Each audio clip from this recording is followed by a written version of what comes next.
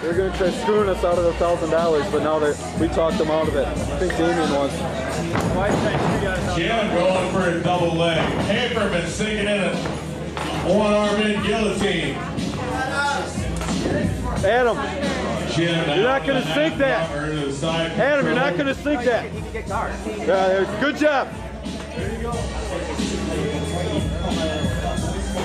hey. Tap, tap.